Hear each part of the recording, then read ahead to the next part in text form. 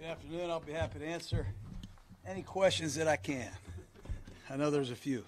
Why trade Mack now for, last draft or next year's draft? Well, first of all, I'd like to wish uh, Khalil well. He was a great player for us, a great person, a great teammate.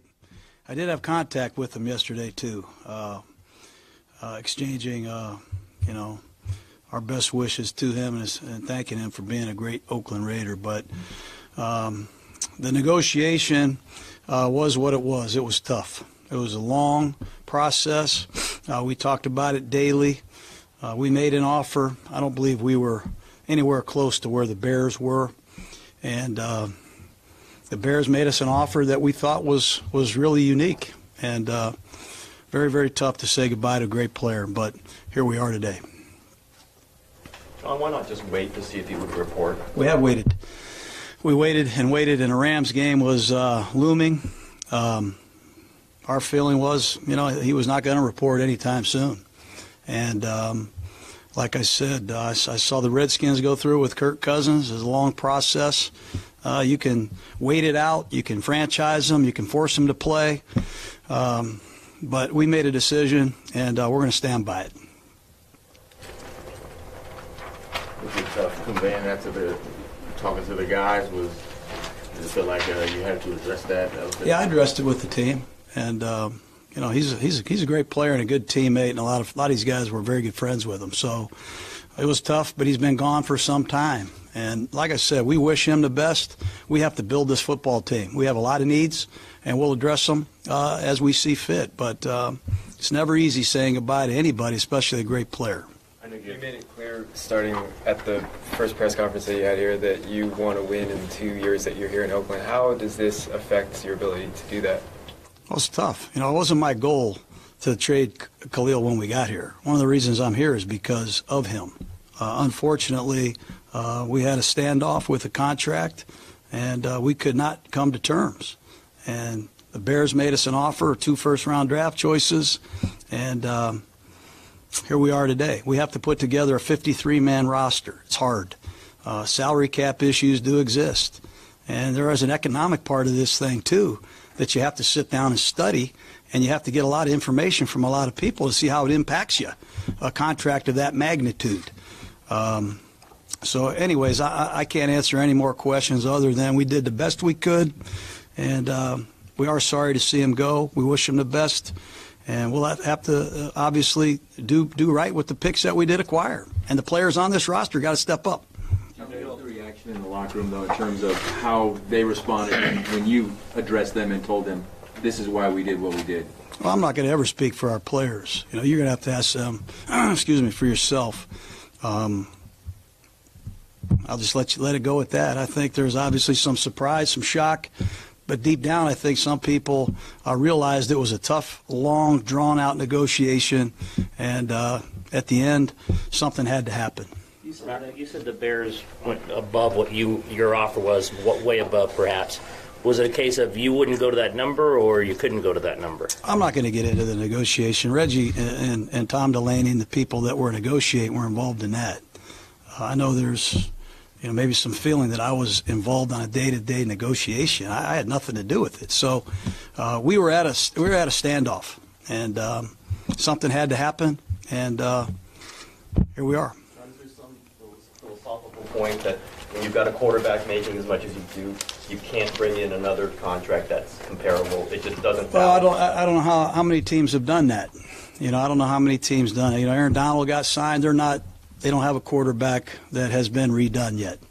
Uh, I think the Bears made this trade. Trubisky's still on his rookie deal. It's tough when you have two players that are uh, the highest paid, arguably, or close to the highest paid at their positions. So the economic part of it certainly weighs in. We've got free agents on our team that are going to be to, be next year. We've got to find a way to bring them back. Um, so you got to field a 53 man roster and there there are some imp- implications uh, uh, of having two players making that much money. That's no mystery to anybody. Do you feel Reggie was truly on board with trading him, or do you feel maybe you had? You know, you know they're, they're trying to divide us. People are trying to divide us, and, and I wanted him gone. He wanted him here. You know, we made a we made a decision as a, as an organization. Mark Davis, Tom Delaney, we all got the information, and um, we made a decision together. And I, I, I'll just say what he said. I read what he said yesterday. It's it's it's, an, it's a decision that we all came to. Given you seem to indicate the last formal offer exchange of offers might have been in February, was there a mystery of the situation, though? If this was not going to be a deal you could make, why not make that decision in February, March, and trade them in April? Why why would we do that? I don't understand why we would do that. Your picks would have been drafted in April. You would Well, have you, you don't know if you can get those picks. You know, you don't. You're not. We're trying to negotiate a contract to keep the player here. We would like to have the player stay here. He was under contract. Uh, we did not expect this to last as long as it did, but uh, we're look. We're going to be second guessed until the cows come home on this. I understand that, but uh, bottom line is we did do our due diligence. There was a standoff, and he got a a great contract from the Bears. A great contract. And like I say, sometimes, bro, sometimes you gotta sacrifice something to get somewhere. You know what I'm saying? And like I said, like I said before, if Khalil didn't show up at this amount of time, his trade his trade value will be at the highest point, and it was. And we say, you know what? We're not giving him to the Jets because we don't want nobody on the Jets. But look, hmm, we're gonna give him to the Bears. You know why? Because they stuck at the bottom of their conference and they not they not gonna get no better no time soon. Didn't they just get a new coach? New quarterback. They got a whole bunch of scat backs. Receiver Kevin White played his first game in like three years. They ain't got no they defense, they got pieces or something. I don't know what they got. So they don't got nothing. So them these next two years for these draft picks gonna be looking good. And we gonna keep, hopefully, we'll keep all our regular picks that we had that we gonna have in the first round. So that's four first round picks for the next two years for Khalil Mack. I like it. That's four players, bro. If we pick right, that's four players that can come in and, and make an impact. You know what I'm saying? We could fill both sides of the ball with, with, with them two drafts. I mean, we, we could do something. You know, I mean, as long as we don't squander them away now, we'll be all right. Now, now I will be mad if we start trading them picks for some stupid shit. But as of today, we got them picks. I, I'm okay. I'm all right with that. Let's not let's not do that though.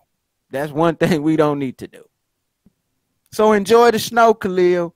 Enjoy it. Have fun with Aaron Rodgers and them. We ain't gotta worry about you. Y'all ain't making it nowhere. What's up, Andy? Man, I appreciate you, bro. Yeah, me too, Ed. I'm so glad he ain't even in the conference. Shoot. I don't think it was a bad deal at all. I mean, we got basically the most we could get. I mean, pretty much. So, um, get over it, Raider Nation. the ones who still ain't over it, get over it, bruh. We the Raiders. It's about the Raiders, bro.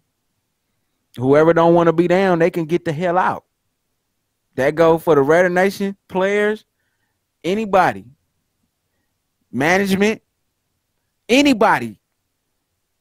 Chucky putting it out there like, bro, you can get cut during the season. So um, it's just like I say, man, I'm a Raider, bro. I'm I'm not tied. I'm I don't tie myself mentally down like that. I'm willing to walk away from shit. You know what I'm saying? I mean, I chose to ride with this team. It's about it's about all the other players that's left. It's about the players that we do got. It's about the players that want to be here. You know what I'm saying? That want to be Raiders, bro. That's what it's about. It's not about motherfuckers who was Raiders and then was like, hey, if you don't do this for me right now, then I'm gone. Well, take your ass on. Take your ass on. Shit. Physically, I mean, the Bears just had a linebacker show up after missing a lot of camp and get a hit. No, no doubt. Yeah, um, Green Bay. I feel like I'm ready. But, you know, the game, you got to get out there and get to it. And um, my body will respond the way it's going to respond. And then the coaches are going to kind of ease me into it. So we're going to figure it out.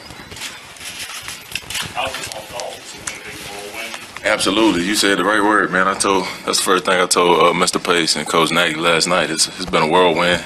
And um, it happened fast, and uh, but I'm blessed and I'm thankful and I'm glad to be here. When did you first? Exactly, one of the most historic in the in the NFL. Uh, coming from where I came from, which is a great, great, great organization, but coming to a staple and a, and a, and a real, real rich uh, history-based uh, uh, organization is, is especially for the defensive side of the ball. Uh, it's going to be exciting and it's new, but um, I'm looking forward to it. When, when your holdout began, what did you hope would ultimately be accomplished through the whole process? Uh, that I get a deal, um, and it's it's happened, and um, I'm, I'm glad I'm here, and I'm blessed, and I really can't complain, man. And I'm yeah, I'm looking forward to the opportunity. When did you have a sense that it wouldn't be with Oakland? Uh, last night, yesterday, sometime. Uh, yeah, it was a real sense then uh, when I got on the plane, and uh, yeah, it's been a whirlwind, but uh, it's been exciting and um, it's new, and I'm looking forward to it, man. I really can't wait. I'm itching. I'm itching. It's been a long time since I played football. Yeah. How many teams were recruiting you that you could share? recruiting. I don't think that's. I don't think there's uh Yeah, I mean, uh, obviously you you might have some interest. Uh, my my agent uh, Joe did a great job throughout this whole process. You know, you get you get probably get calls and here and there trying to fig- people trying to figure out what's going on. Uh, but even then, I wasn't focused on that. I let him focus on it. Uh, I just stayed on the grind and uh, wanted to be ready. And um, just so happens the opportunity is going to come uh, next Sunday. So besides the deal, Yeah. Bears, what were the alluring traits that, you know, you look at a new head coach? Yeah, um, absolutely. An aggressive general manager. Exactly. Defense with Vic Fangio. What, what lured you to this place? I mean, it's you say it lured, but uh, to be wanted, ah, yeah, that's that's all it takes. You know what I mean? Uh, it's it's it's just that that feeling that uh, they're excited to have you, uh, and uh, just understanding what's going on over here right now.